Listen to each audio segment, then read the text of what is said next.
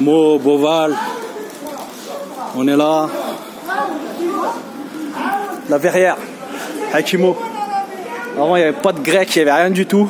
C'était frites euh, merguez. C'était des Américains l'Oasis, qui est juste là. Dédicace à Mosen. Voilà.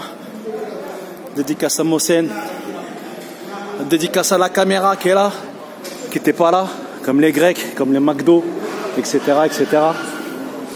Qu'est-ce que je voulais que je vous dise ben, Pour ceux qui connaissent à l'ancienne, ben, ils connaissent à l'ancienne. Hein. On a toujours été là, on a toujours traîné là.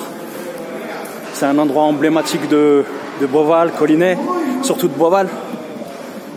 Voilà, on a 45-50 km de Paris. Ici, c'est c'est surtout l'Afrique. Surtout. Voilà. Il n'y avait qu'un grec avant. Voilà. Ici, c'est une source d'inspiration incroyable pour moi. Donc, Gabriel et Lagdar. Gabriel et Lagdar. Gabriel et Lagdar. Gabriel et Lagdar.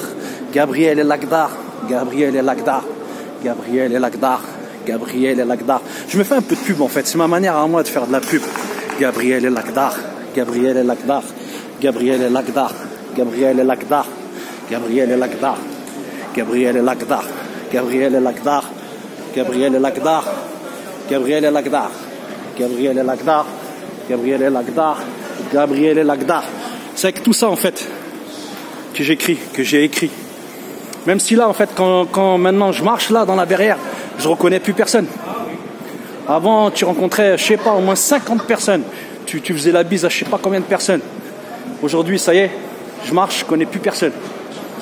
Mais Gabriel Lagda, Gabriel Lagda, Gabriel Lagda, Gabriel Lagda, Gabriel Lagda, Gabriel Lagda, Gabriel Lagda, Gabriel Lagda, Gabriel Lagda, Gabriel Lagda, Gabriel Lagda, Gabriel Lagda, Gabriel Lagda, Gabriel Lagda, Gabriel Lagda. C'est mon roman, mon premier roman. Hakim le romancier. Qui aurait cru, qui à un moment donné aurait pu se dire que ce mec-là, un jour, il serait romancier. Il écrira un livre. Eh ouais, Gabriel et Lagdar, Gabriel et Lagdar, Gabriel et Lagdar, Gabriel.